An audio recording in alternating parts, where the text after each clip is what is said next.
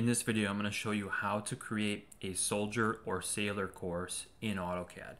And this is important because typically we're using soldier or sailor courses on the edges of patios or walkways. And the more information that you can convey to contractors, the easier that it is on them for communication. So you are drawing more detail to convey more information. So to create a soldier course along a, let's say a rectangular pattern, I'm going to use the rectangle command. I'm going to type in D and I'm going to draw a patio that is 12 feet by 12 feet. And we're going to use the command offset to offset this line by a typical soldier course is about 8 inches. So I'm going to offset this exterior line by 8 inches. So I'm going to select the line. I'm going to type in offset and I'm going to use 8 inches and we can see here that the blue line represents the line that I previously drawn and I can go on either side of that line to add a soldier course. So since 12 feet was the perimeter, I will offset 8 inches to the inside and hit exit to complete the command. Now we are seeing a soldier course line that is 8 inches off the perimeter and we can hatch this inside line with a paver patio. And now we have a soldier course with a paver pattern on the inside.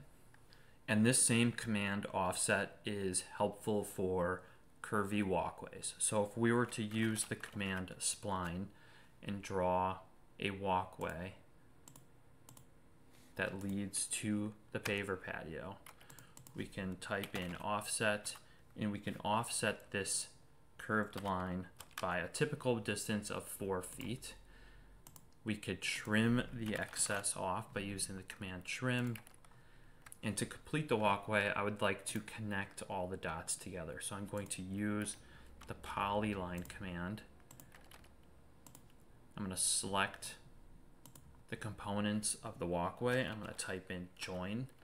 And I'm going to use the offset command and because this is a sailor course, a typical sailor course would be about four inches if you're looking at a typical brick, uh, four inches by eight inches. So a sailor course is running the long way.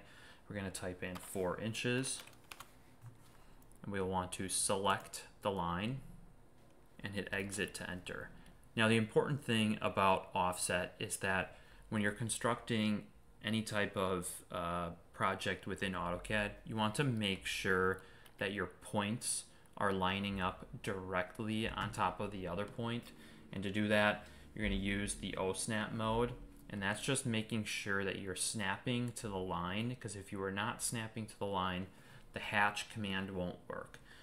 So if we typed in hatch, I'm going to select the interior lines here. I'm going to hit enter to finish. Now we have a perfect offset of four feet along this line. We have a four inch sailor course and we have an eight inch soldier course on the square patio. Subscribe now for more videos or go to www.thelandscapelibrary.com for AutoCAD training specific for landscape design. And we also have more tools, resources, and trainings.